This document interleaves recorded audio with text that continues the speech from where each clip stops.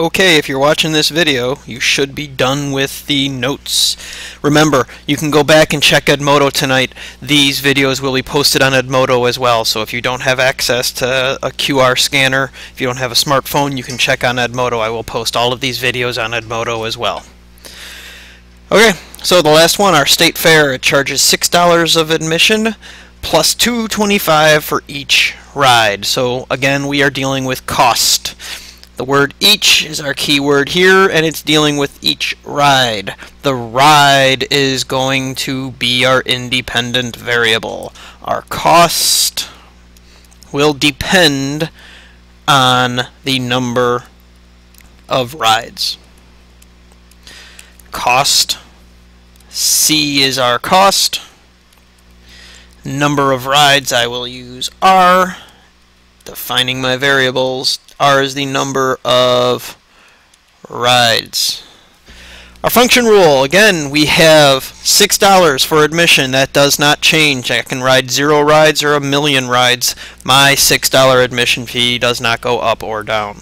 So, the cost will be that $6 for admission. They tell me what to do with it.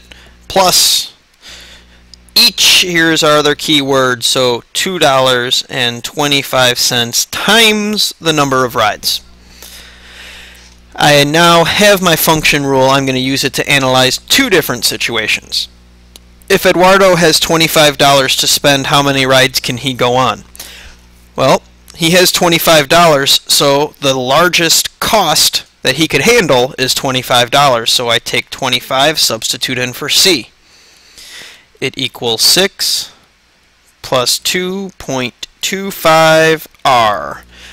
Go ahead, hit pause, check your answer, solve it. If you didn't get this function rule, change your function rule, check your answer, hit pause, and we're about to pop the answer up. And that's right R equals 8.44444, so 8.4 repeating. That does not answer my question. Eduardo cannot go on point four repeating of a ride. Can we round this up?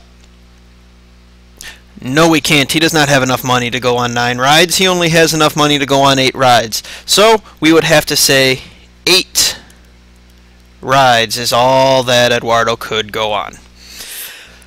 Part D, how much will it cost to go on three rides? So now I know how many rides I'm going on. I can figure out how much money I need to bring. The cost is $6 plus $2.25 times those three rides that I want to go on. I go ahead and I solve.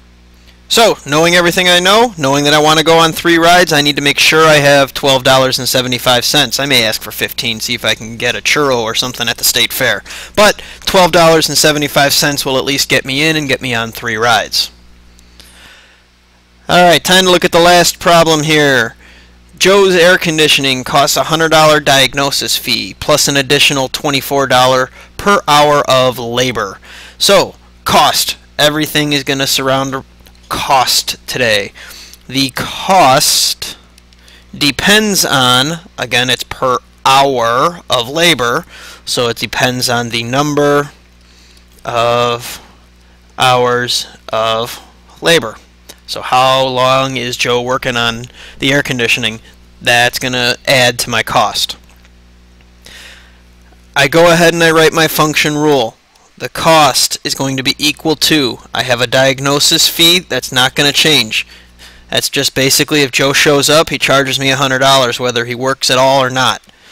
So $100 plus an additional $24 per, there's my multiplication again, so 24 times the number of hours, h.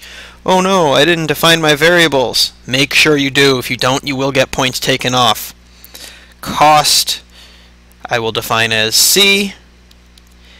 H will be the number of hours of labor. Now I can use C and H in my function rule because I've defined them. I know what they are. So, if the bill is $220, how many hours did Joe spend at my house? I know the cost. It was $220. I don't know how many hours, so I solve my equation for h. Here's our equation. That was our function rule. If you didn't have it, go ahead, press pause, solve this one now, please. So we see that Joe spent five hours at the house working on the air conditioning. Hopefully everything is working now. Okay, those are the notes for today. Your homework. It was day four, function rule writing practice day is worksheet four in your homework packet, pages 15 through 17. And again, remember, there are videos posted on Edmodo going through all of the notes today.